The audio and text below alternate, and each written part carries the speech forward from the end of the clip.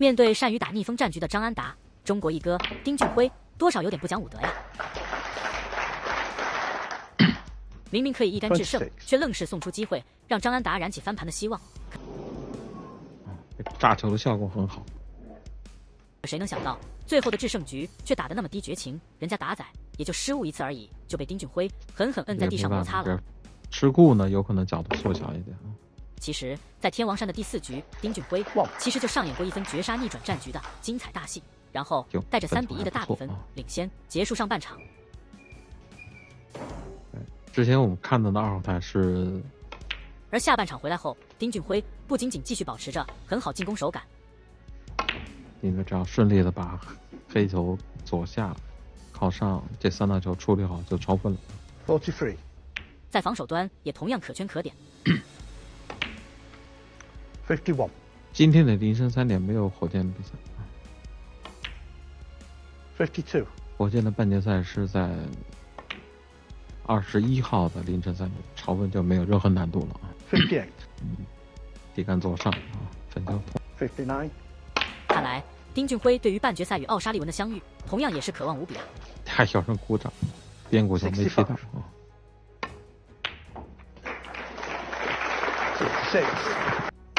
果然，逮住张安达的一次失误后，再次上手的丁俊晖炸裂无比的轰出单杆七十三分。翻带的角度还有。以七十五比十五又拿下一局，总比分四比一。丁俊晖，seventy three under three。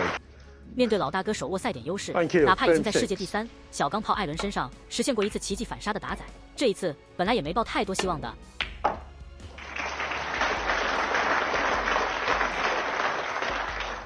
特别是在这关键第六局，丁俊晖又获得率先开火。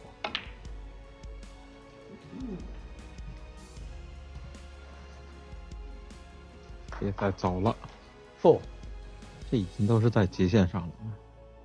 嗯，但丁俊晖是最想叫的还是黑球右侧接球啊？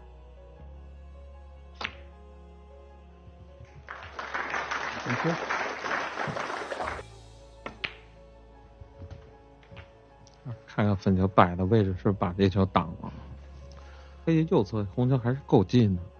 Thank you, eleven.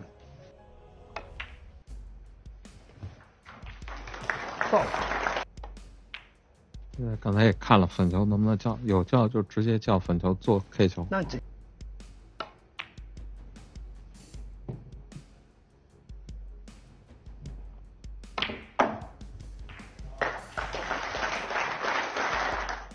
所有人都以为比赛没悬念的时候，他竟然仅得到二十六分就出现失误。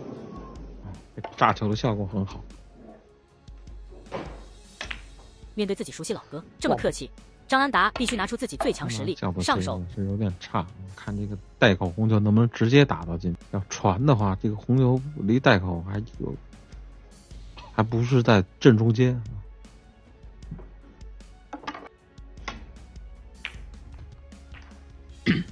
打篮球也好，打黑球也好，嗯，出错呢，就基本上会是一个大错。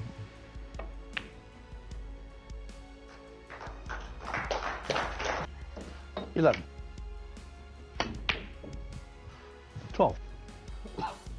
丁优和张安达的胜者是对火箭啊，半决赛对火箭。Nineteen。一月二十一号就是后天的凌晨，角度不够直。Twenty-seven。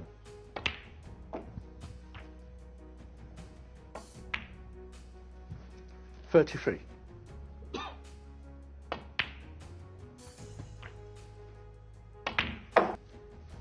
这一会儿才刚刚把这交位稍微打输。Forty，一比四落后，手上有点紧也正常啊，也也不应该是会打的这么辛苦的啊。Forty five，这是要确定好粉球左侧红球是单叫中单还是右下底来有可以叫啊？关系。Fifty-four, sixty-one, sixty-two,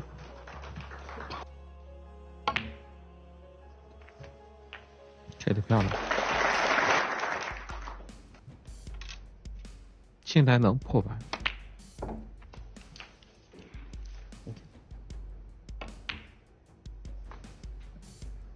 打黑球青苔一百零二打粉球青苔一百零一。就直接轰出单杆一百零一分成功扳回一局。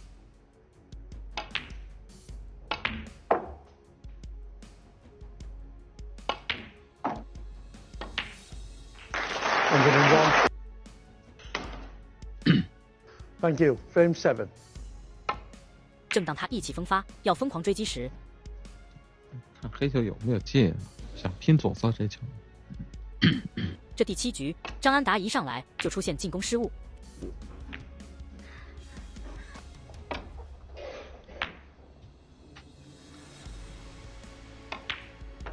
哇，炸球！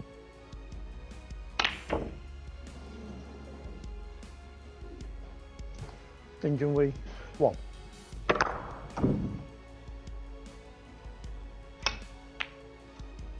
出来速度还是不够快，一打软了。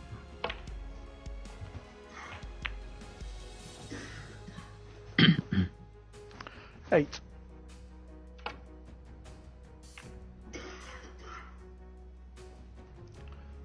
Zalanda, eight.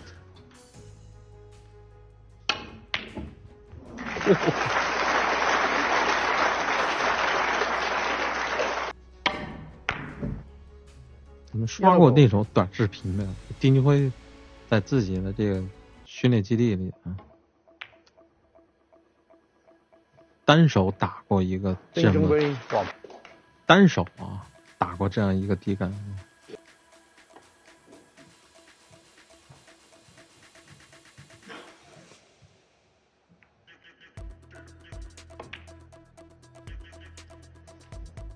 轻了一点嗯。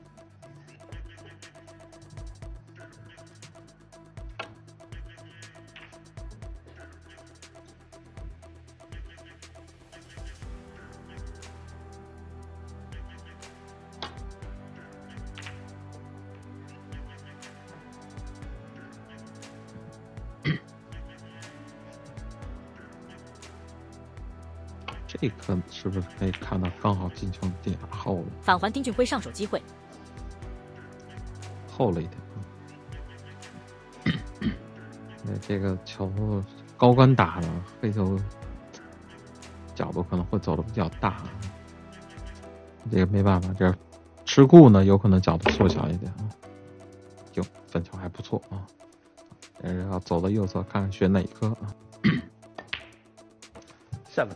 然后觉得这个黑球不是很好，叫不出很好角度或者距离，粉球还可以调啊。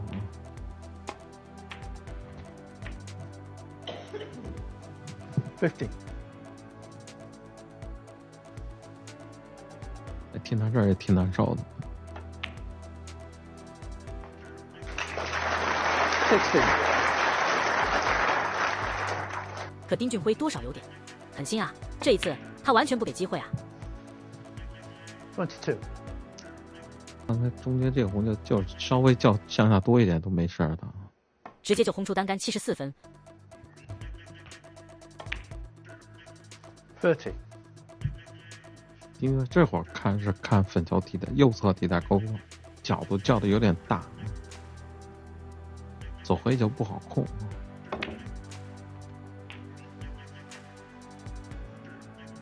Thirty one。这个丁俊晖来说就不是难事儿了啊！他这叫法你看都是要就强线路就压着就贴着红就过，你要想把这交易距离啊就叫的特别近，这这个位置落点呢就要叫的更精确。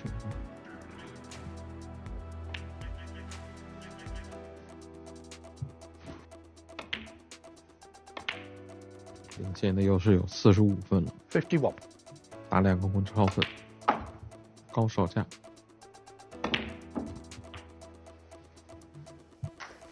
最终以七十六比八锁定胜局，以总比分五比二取胜，成功晋级半决赛，将与奥沙利文又一次胜利大会师。Sixty six。好，比赛结束了，两场比赛的对阵啊，和曹宇鹏先打。到后天的凌晨三点啊，就是丁俊晖对阵火箭，嗯，一个开轮。所以，你难怪赛后打仔拉着辉哥的小手，一直唠嗑个不停。丁俊晖，seventy four，same unmatched。